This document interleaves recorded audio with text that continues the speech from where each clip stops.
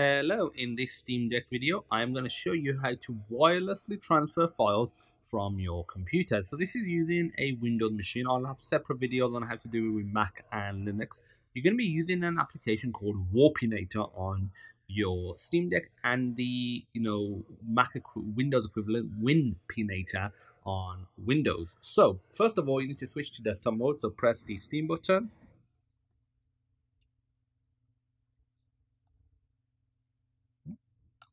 menu is not popping up. Let's try it again. There we go. Go to power.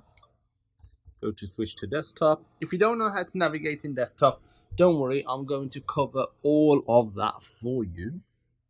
And I always wait a few seconds before I try and use the desktop mode because I find the mouse can sometimes take a few seconds for it to properly kick in.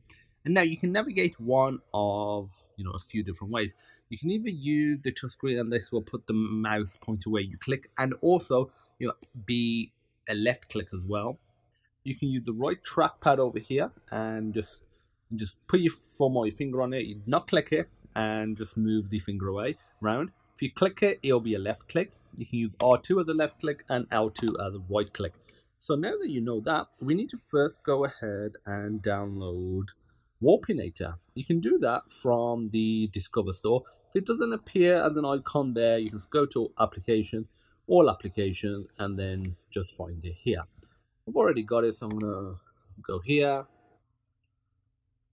And I always recommend, you know, wait for this to fully load because it can take a few seconds and just make sure, you know, it's all appears. Otherwise, any searches won't show anything. So you click on the search Keyboard does not appear automatically. You go to Steam and X.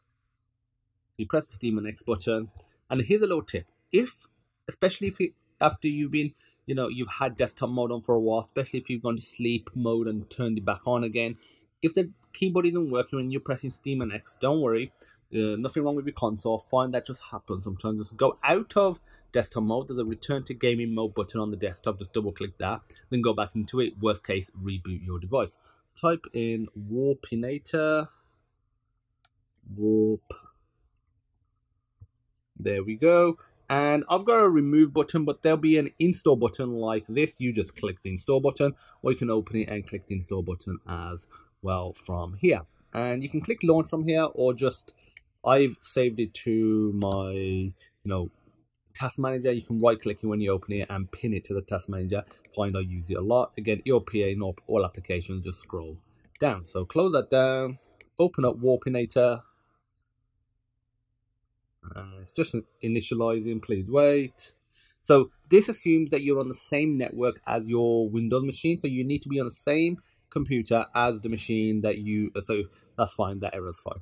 Uh, as, you know, that you'll be transferring files to this device. Okay, so now what we're going to do is switch over to our Windows machine. Okay, so now that we are on our Windows machine, what we are going to do is just open up your web browser, search for WinPinator, and just go for hit to here. So it's the Warpinator for Windows. Scroll down, go to downloads, downloads page, and just download the version that you want 32-bit or 64-bit if you need to find out what you know os you have 32-bit or 64-bit open up your you know your computer this pc go to system properties and in here you'll have 64-bit so i'm 64-bit i can do either 64-bit does support backwards as well but 32-bit you have to have 32-bit so you just click download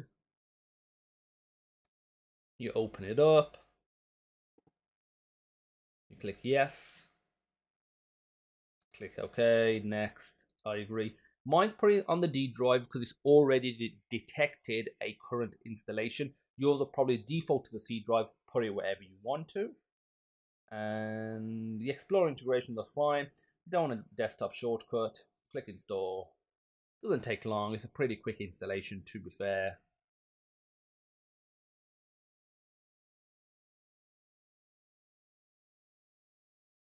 Obviously, it does download some files, so it can vary, you know, based on your internet speed. I can actually close the web browser down now.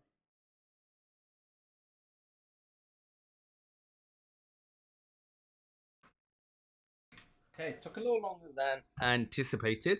Fine, click next. Don't want to really see the release notes, but we're going to launch it up. Obviously, if you close it, you can just close, search for Winpinator here and open it up now. Okay, like I said, make sure you're on the same machine. And now, obviously, I'll show you the Steam Deck as well. So he's picked it up, you just double click it.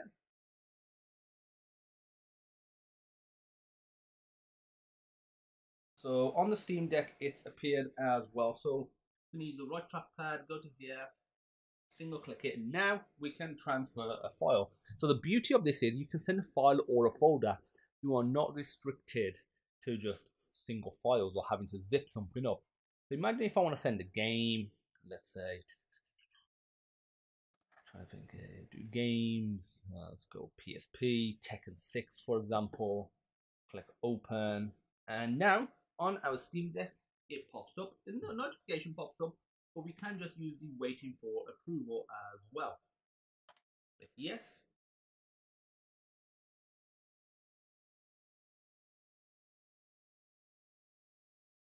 So this is copying over. As you can see, it is very fast, but that depends on your current configuration. My Windows machine is wired in, and I've got really fast routers as well, but it is still pretty fast either way. And now, let me show you where to actually access it on your Steam Deck. You go to obviously your Explorer, you go to Home, and there'll be a folder called Warpinator, and all files that you have transferred will appear here. So Tekken 6 right there, and you can right click using L2, copy it, and paste it wherever you want to. So that's how you, you know, send files and folders to your Steam Deck. You can also click send files and send file to another machine from the Steam Deck if you want to. So that's it. If you have any questions, feel free to post on the Discord group, link in the description. If you liked the video and it was helpful, give it a thumbs up, hit that subscribe button, and I'll see you soon. Bye bye.